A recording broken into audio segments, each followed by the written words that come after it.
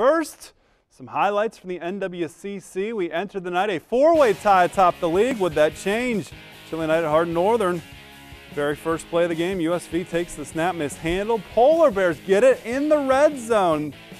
Next play, Will Poling takes the snap, throws it to halfback Owen Bame, picks up a first down. couple plays later, Poling right up the middle. It's 7 0 Polar Bears with the lead. USV gets it back. Quarterback Kirkland roars to Austin Sloan, who leaps his way over defenders, breaking tackles, makes his way all the way to the end zone. Could be a Layfield Welding top five play. 55 yard score.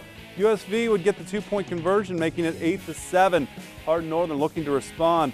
Poling screen to JJ Overs, picks up seven, but USV, too tough.